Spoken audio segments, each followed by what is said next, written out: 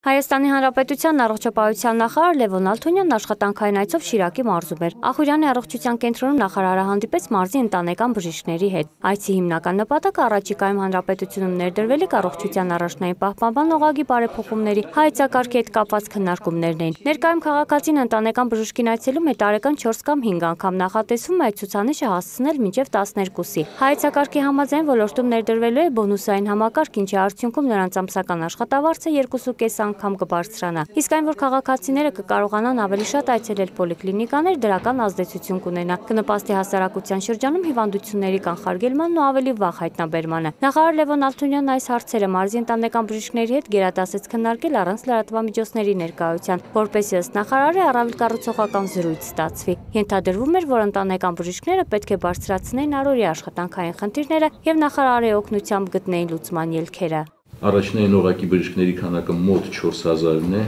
Դուք առաջի 8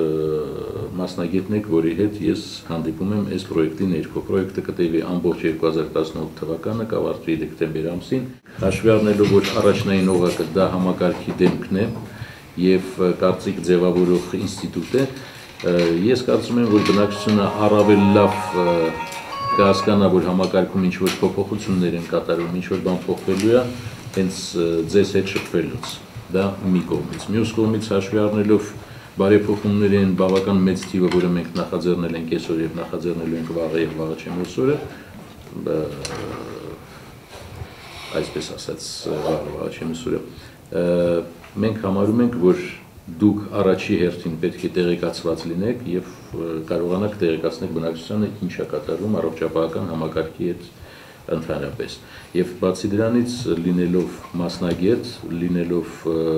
ժողովրդի գիտակ, դուք կարող եք ինչպես ուղղորդեկել նախարարությանը բարեփոխումների վեկտորը, եթե ոչ դիամետրալ փոխելու, այլ ինչ որ շտկումներ մտցնելու հարցում։